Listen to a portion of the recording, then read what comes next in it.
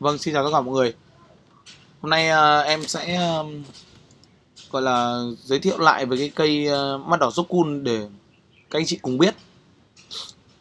Và em sẽ nói về cái vấn đề là tại sao mà một số cái cây mà ám với cả năm cánh trắng ấy hoặc là ám có nghĩa là định nghĩa lại về cái ám một chút có thể là các anh chị đang bị nhầm một cái điểm điểm điểm nào đó với uh, những cái cây ám ấy thì thì như cái cây Jokun cun ấy thì tại sao mà em gọi nó là cây ám bởi vì nó có quá nhiều tên mà có người thì gọi là ám hòa bình này ờ, mắt đỏ hòa bình này ờ, mắt đỏ Jokun cun này năm cánh trắng số 10 này năm năm cánh trắng ờ, năm cánh trắng số 10 này năm cánh trắng mắt đỏ này. Ờ, mắt đỏ Jokun cun năm cánh trắng mắt đỏ hòa bình ấy thì cái cây này ấy, thì là cái độ biến thiên của nó có thì uh, ờ, cái cây dốc cun này ấy, thì là do cách đây khoảng uh, năm 2016 ấy. 2016 thì có một anh anh sưu tầm cái cây này về. Thì anh ấy gọi là dốc cun. Nhưng mà trước đó thì anh ấy không biết là có một anh là uh, một anh ở Hà Nội anh ấy sưu tầm cái cây này về và anh ấy chụp ra cái bông này đây này bông này chính là cái bông anh ấy chụp. Thì hồi đó là khi mà nở vào cái năm 2014 ờ, ấy thì được cái cây này là năm cánh trắng đấy còn cái bông này là em chụp này. Bông này em chụp là nở 2015 là cũng là năm cây trắng. Năm cây trắng. Nhưng mà cùng vào năm 2015 này thì có một anh anh ấy nở là nó bị ám ám tím. Thế nên là cái cây này đã gọi là cây cây ám hoặc là gọi cái mắt đỏ không thì cây này nó rất là lôm nhôm. Xong về sau đây thì em có biết được rằng đến một cái cây đó chính là cái cây uh, nữ hoàng 28 ấy cái nữ hoàng 28 này là em mới biết và năm 2019 này thì em mới được xem hoa một lần thôi. Nhưng xem hoa một lần thì có thể là những cái mà em biết hoặc những cái kiến thức mà em chưa em em nắm được ấy. Thì cây này thì rất là nhiều người gọi cái, cái cây này với cái cây ám mắt đỏ kia hoặc là năm cái số 10 hay năm cái trắng mắt đỏ ấy, đều là một cây. Bởi vì cái cái bông này cái bông em vừa vừa đây mọi người vừa xem này. Cái cây mà người ta ghi nữ hoàng 28 này cái bộ khuôn cánh nhá. Với cái mắt khuyết này của nó nhá. Mắt đậm nhá, môi tuyết nhá phân thùy rõ ràng này. Với cái cây này là nở của nhà anh Huy nhà, nhà một ông ạ. Anh Huy ở Huế này. Thì nó vẫn là cái form khuôn hoa đó nó là cây ám thôi. Nó vẫn là cái cây dốc cun này. Môi tuyết này phân thùy mắt khuyết này. Mắt khuyết nhé mũi phân thùy tương đối và cánh bầu dạng cánh này. Thì em nghĩ thấy nó rất là giống nhau. Thì cái, cái cây của anh Huy này là anh Huy ở Huế này là nở vào năm uh, ở 2018 2018 là nở tại tại Huế. Thì đây chỉ là một số những cái hình ảnh mà em biết thôi. Còn về cơ bản là có rất là nhiều người đã nở lại rồi. Và cái điều quan trọng em muốn nói ở đây là cái cây này ấy, là một cái cây ám gọi là cây ám được bởi vì nó có những năm là cánh trắng tinh. Đây đây là cả một cái chùm hoa nó thì đấy thì có người lại gọi là ám kích bầu dục cánh cánh bầu dục cun. Ám kích bầu dục cun. Thì nó vẫn là cái mắt khuyết này mắt khuyết. Phân thùy tương đối rõ ràng môi tuyết cánh bầu. Nó vẫn là một và dạng thân lá là một. Thì cái này thì nó là cái hình mà em dùng để em uh, bán hàng. Cái, cái hình này là nở vào 2019 tại Hải Phòng. Đấy. Thì có nghĩa là đây là những cái hình ảnh tư liệu anh em nắm được cái hình này là cũ đầu những năm đầu tiên này. Ám mắt đỏ mũi tuyết này. À, cái cây này là năm nghìn trắng ngày đấy gọi năm nghìn trắng số 10 thì à, nói về ám ấy thì em cũng nói một chút. Đây ví dụ như cái cây này em nói về cây ám này. À mà đấy ví dụ như cây này em nói về là đây là cây ám. Thì anh chị thấy không ạ? Cây ám này khi mà mọi người zoom ra hết cỡ này mọi người thấy là cái bộ cánh của nó ấy thì thường nó sẽ ở cái phần đuôi cánh này nó sẽ ám hồng tất cả những cây nào ám là nó, ám hồng ở đuôi cánh thì thôi. Thì cái cây đuôi cánh này ám hồng này, hoặc là cánh ở trên này ám hồng, cánh phần trên, hoặc mặt sau của nó ám hồng.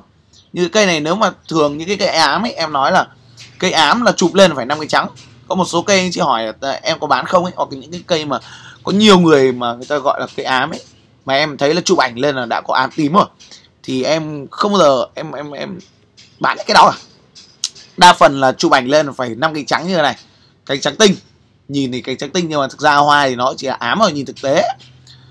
Nó cũng uh, như kiểu là cây uh, cây um, uh, phi điệp tím chẳng hạn. Chẳng hạn ví ví dụ em nói em sẽ nói đến vấn đề là uh, phi điệp tím của cái cây uh, tím yêu tử ấy hoặc là uh, tím vượng ấy tím ghẻ ấy. Thì cây đấy thì nó là một cây tím rất là đẹp nhưng mà tại sao không bao giờ em đăng bán để để mọi người mua cả? Bởi vì nó chỉ là một cái cây phiệp tím bình thường. Và cái cái khi mà anh chị mua một cái cây phiệp tím đấy thì tím bình thường ấy thì em nghĩ là mọi người nên chú trọng vào cái việc là chăm sóc và cho nó ăn ánh sáng để nó ra được một cái cây rất đẹp. Còn nếu như mà anh chị mà nuôi trong mát hoặc điều kiện thiếu ấy cái này thì sẽ chuyển về tư vấn nhé. Đại loại là một cái điều kiện thiếu thì anh chị uh, rất là khó để ra được những cái bông hoa đẹp, kể cả là bông hoa tím bình thường. Thế nên là những cái cây tím là thực sự là em rất là hạn chế và không bao em đang bán cả. Cũng như một số cây ám mà chụp là lên là vẫn còn tím ấy, nhìn vẫn còn tím ấy. Chứ còn bản thân em ấy thì những cái cây ám, ví dụ tại sao như cây này là cây ám này? Cây cây này gọi là cây ám bởi vì là nó đã có những năm mà nở năm cây trắng rồi. Thì năm nay nó ra ám, chụp này thì mới bị thì thì mới mới gọi là ám còn nếu mà nó không có những năm nở, năm cây trắng, ví dụ như cái cây này chẳng hạn, thì cả đời nó chỉ ám này thôi.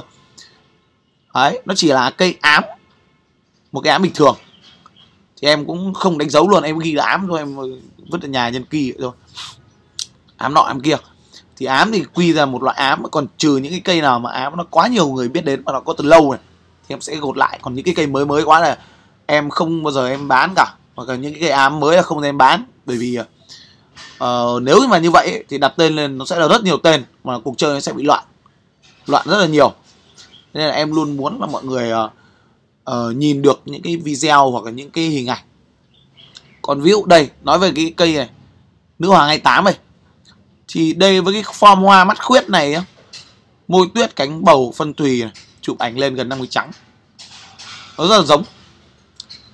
Và khi mà cả một cái thân to như này mà nó có một bông ấy thì chắc chắn là một bông sẽ rất là đẹp.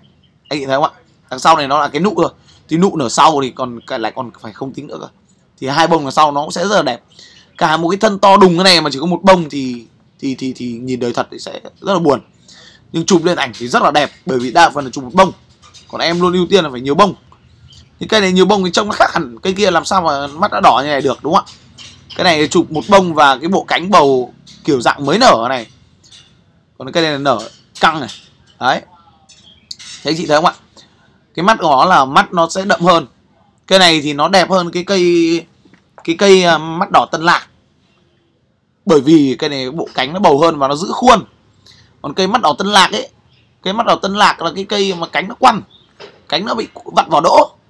Và nó chỉ được cái mắt đỏ tươi hơn là cái cây cây mắt đỏ giúp cun này thôi. Cây mắt đỏ giúp cun này thì màu thì nó không đẹp bằng cái cây mắt đỏ tân lạc nhưng cái cây mắt đỏ tân lạc thì nó hơn nhau ở cái màu mắt có nghĩa là màu mắt đỏ hơn.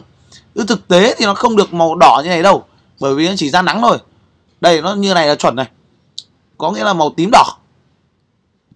Còn đâu thì nó chỉ là cái màu uh, uh, gọi là có ánh đỏ trong những cái thời gian gọi là lên hình hoặc là những cái thời gian có video. Thì nó là những cái cây mà có ánh đỏ chứ nó không phải là mắt tím. Đấy ví dụ như vậy thì còn cái việc là cái cây mắt đỏ giúp cun ấy với cái cây uh, uh, nữ hoàng 28 ấy thì rất là nhiều người là bảo nó là một rồi. Nhưng mà em thì luôn tôn trọng những người đặt tên trước còn những cái tên sau thì nó rất là khó. Ví dụ như là tại sao mà có nhiều cái đại tướng thế? Năm cái trắng phú thọ với cả đại tướng thì đại năm cái trắng phú thọ là lỗi rồi thì không lỗi rồi thì cổ tiết các thứ. Thì em vẫn quy về nó là một hết. Tại sao mà em không không không phân chia nó nhiều các loại? Uh, bởi vì uh, nhiều khi uh, uh, quá nhiều tên thì nó sẽ làm rắc rối hơn. Ví dụ như cây phú thọ là cây rất là đại trà. Hoặc cái thứ hai đó chính là cái cây HO mà anh chị biết có nghĩa là hiển oanh. Năm cái trắng HO năm mươi trắng sông bôi năm mươi phố cổ. Hay là cây um, phố cổ sông bôi uh, hiển oanh hòa bình thì nó ít nhất là như em biết là bốn cái tên đấy là phổ thông nhưng bây giờ đã quy về một đó chính là HO có nghĩa là hiển oanh năm trắng hiển oanh năm trắng hòa bình. Thì vẫn là một những cái cây phố cổ với cây súng bôi giờ không thấy đâu nữa cả. Thế nên em mới nói là tất cả những cái tên mà người ta nói ra đằng sau ấy là em cực kỳ cân nhắc và tối kỵ những cái việc đó. Em luôn muốn nói là những cái uh, cây mà thực sự nó là có giá trị của nó và nó được những người đầu tiên đặt tên. Còn những cái người mà đặt tên sau ấy thì chỉ là thấy khác khác thôi. Còn đặt tên quá nhiều ấy, thì nó sẽ làm cuộc chơi nhũng loạn hơn và sai nhiều hơn. Đây là một bông của anh Huy nở trong Huế cũng rất là đẹp. Thì anh chị có thể tham khảo thêm về cái cây Jokun này và có thể sưu tầm. Cây này nó là một cái cây mắt đỏ Jokun em, bây giờ em quyết định gọi như vậy. Bởi vì là cái cây tên mắt đỏ Jokun ấy là do một anh ở Hải Phòng anh gọi vào những năm 2016 là đầu tiên. Còn năm 2014 nở lần đầu tại Hà Nội thì anh ấy lại gọi là năm cây trắng bởi vì nó nở là năm cây trắng. Những năm thứ hai uh, anh năm đầu năm đầu tiên anh gọi năm cái số 10 nhưng năm thứ hai thì nó nở nó bị ám. Thì có có nghĩa là một nhà bị ám và một nhà vẫn là năm cái trắng thì năm thứ hai vẫn gọi vậy. Thì năm thứ ba thì anh nghĩ anh cái anh ở Hải Phòng thì anh sưu tầm được thì anh chỉ gọi là mắt đỏ rốt cun thôi. Đơn giản vậy thôi. Chỉ còn những cái tên về sau những cái bông giống hệt ấy thì em nói thật là nên cân nhắc trước khi sưu tầm.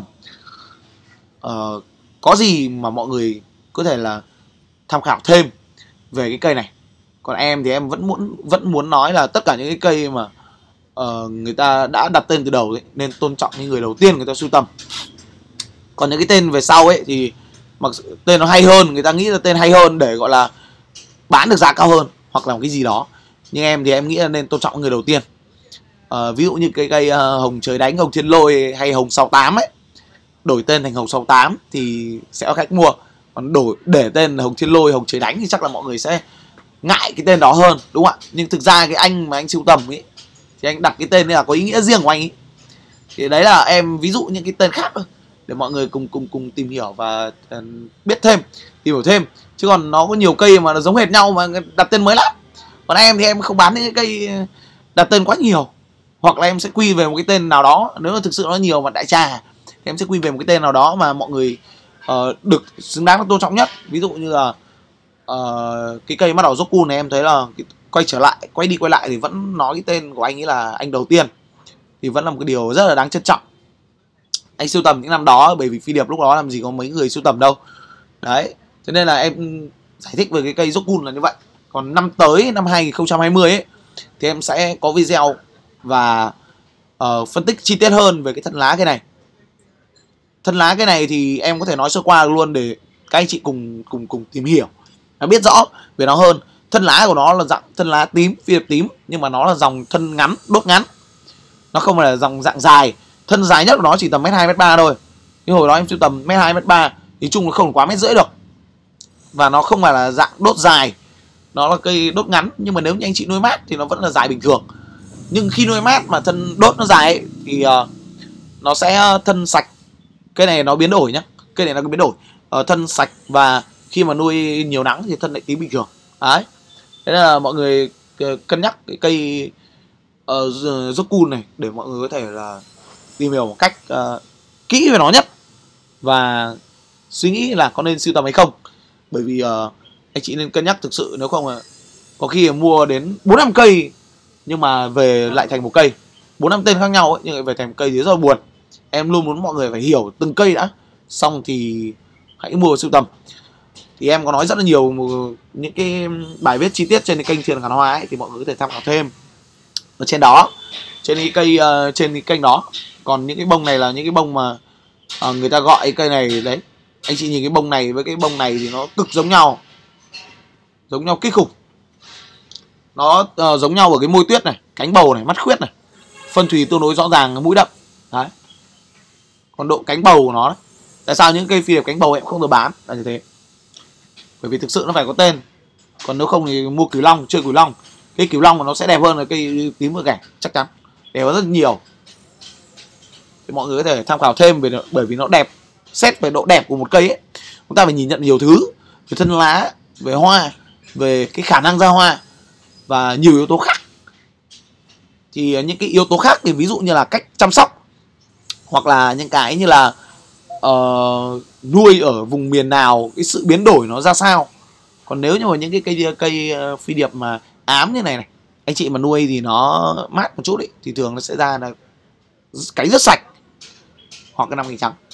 Bởi vì em như cái cây cái cây Jokun này là em biết và em đã va chạm với nó nhiều năm rồi.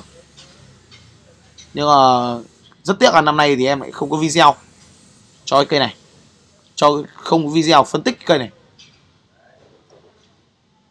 thì đây là một cái bộ cánh nó cánh trắng từ năm đầu tiên. Nhưng mà năm đầu tiên thì nhận định thì nó là năm cây trắng nhưng mà tên bị sai rồi vẫn bị ưu tiên những anh đầu tiên. Gọi là cây rốt cun chứ không phải gọi là năm cây trắng được. Không thể như cây mắt nai mà là một cây ám mà lại gọi năm cây trắng được. Thì đấy là điều à, em không muốn. Còn cây mắt nai thực ra bản thân nó thì nó là cái cây một cái cây ám chứ nó không phải là một cái cây năm cây trắng. Thì uh, mọi người có thể tham khảo thêm về những cái cây khác hoặc là những cái cây ờ, về dòng khác, dòng kiếm hay dòng cắt tum hay là dòng ờ, các loại hoa lan khác để chúng ta cùng sưu tầm để hiểu rõ hơn về các loài hoa lan. Cảm ơn tất cả mọi người đã theo dõi ủng hộ em trong thời gian vừa qua. Xin ờ, chào tất cả mọi người và hẹn gặp lại.